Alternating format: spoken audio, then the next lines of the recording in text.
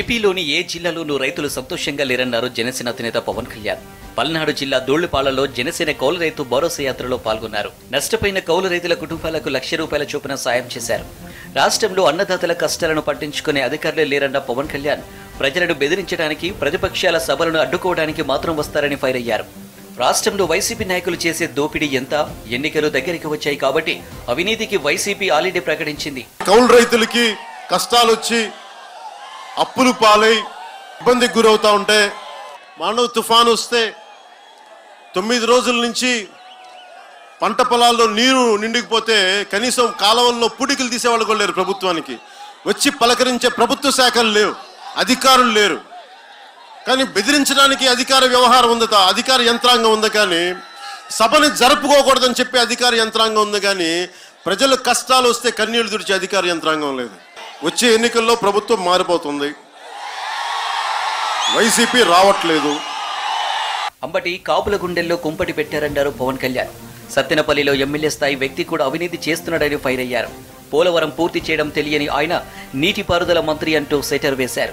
వచ్చే ఎన్నికల్లో YCP గెలవదన్న Pawan BJP టీడీపీకి అమ్ముడుపోయే కర్మ నాకు లేదన్నారు. అక్రమాలు చేసే సర్కారును గద్దెదించేందుకు వ్యతిరేక శక్తులను ఏకం చేస్తామన్నారు పవన్ కళ్యాణ్. అంబటి కాపుల గుండెల్లో కొంపటి. నువ్వు ముందు పెద్ద పెద్ద మనిషి పోలవరం ఫినిష్ చేయండి మీరు. పోలవరం ఫినిష్ చేయరు అది ఎప్పుడు అవుద్దో తెలియదు మీరేమో ఇరిగేషన్ శాఖ మంత్రి మీరు. ఏదైనా మాట్లాడితే రానివ్వం. కేసులు పెడతాం ఇవన్నీ పిచ్చి కథలు ఇంకా ఆపేసేయండి.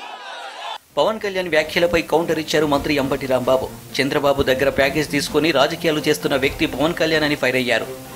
రెండు లక్షల లంచం తీసుకున్నానని నిరూపిస్తే మంత్రి పదవికి రాజీనామా చేస్తానని సవాల్ విసిరారు. రెండు వేల పంతొమ్మిదిలో జగన్ అధికారంలోకి వస్తే రాజకీయ సన్యాసం తీసుకుంటా అన్న పవన్ కళ్యాణ్ ఆ మాట ఏమైందన్నారు.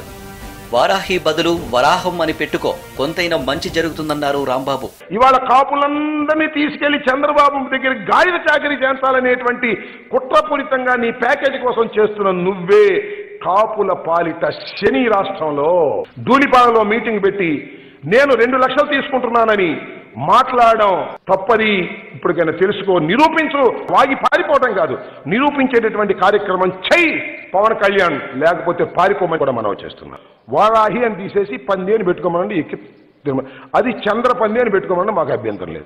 ఏపీలో మరోసారి పవన్ కామెంట్స్తో జనసేన వైసీపీ మధ్య మాటల యుద్ధం ముదురుతుంది.